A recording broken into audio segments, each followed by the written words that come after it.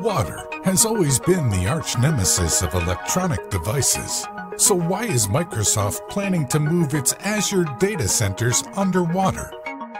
Let's find out.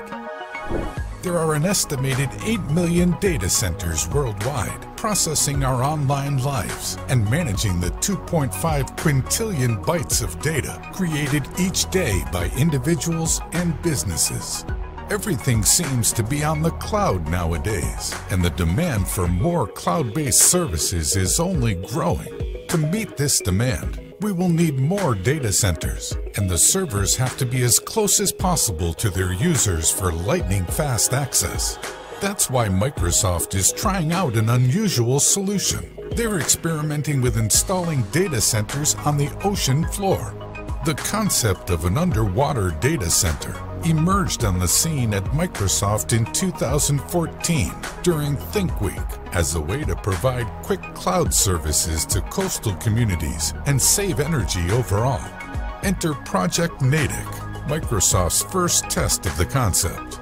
In 2018, the company submerged the Northern Isles, a purpose-built data center in the Pacific Ocean, just off the coast of Scotland's Orkney Islands.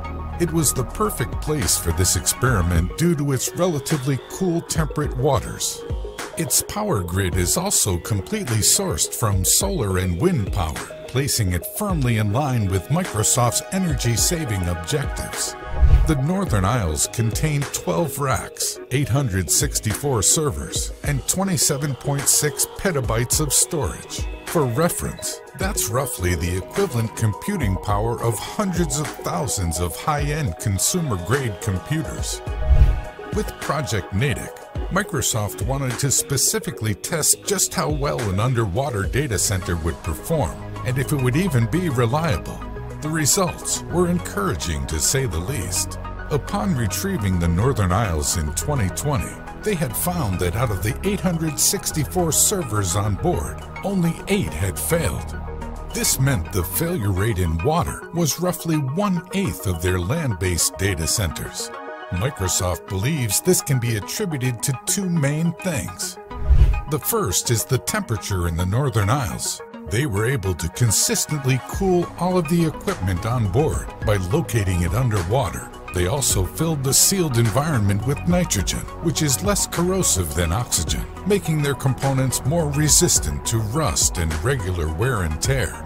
This allowed the Northern Isles to maintain optimal performance without running the risk of overheating. The second key to the Northern Isles' low failure rate is a bit simpler. Just like lights out data centers on the surface, the absence of a staff bodes very well for its reliability. Microsoft believed that leaving the data center unattended and free from human interference eliminated the variable of human error from its maintenance altogether.